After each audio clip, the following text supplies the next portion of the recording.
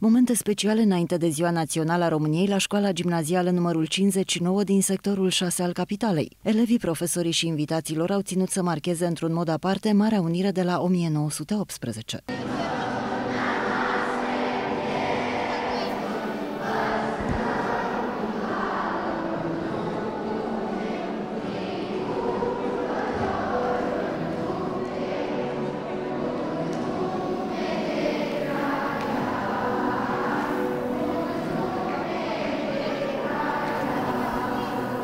De 1 decembrie, corul școlii noastre, uh, care are în componență 105 copii din învățământul uh, primar și gimnazial, au pregătit o serie de cântece din tematica patriotică. Dansuri populare, folclorice, uh, diferite ateliere de lucru, de creație, zile dedicate gastronomiei românești, toate marchează 105 ani de la marele eveniment istoric al Unirii. Nelu Radu, artist, instrumentist din cadrul Orchestrei de Muzică Populară a Radiodifuziunii Române, împreună cu alți doi instrumentiști, Justin Băcău și Marius Bănică, au fost invitați special ai școlii gimnaziale 59. Ne aducem și noi cu tot sufletul aportul și ajutorul către acești copii care au talente și ne dorim ca în viitor ei să evolueze cât mai mult.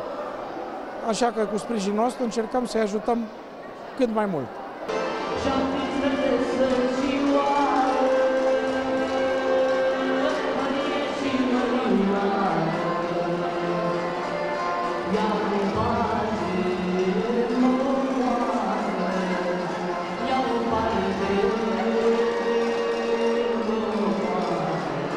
Pentru mine 1 decembrie este o zi foarte specială pentru că reprezintă România în primul rând și folclorul românesc. Este o sărbătoare pentru că sărbătorim Marea Unire și ne arată că noi suntem români și suntem demn de patria noastră și sărbătorim această zi cu anumite cântece. Pentru mine 1 decembrie înseamnă cea mai bună zi a anului pentru că eu sunt român, am sânge de român și mi se pare că ă, a fi român este foarte frumos.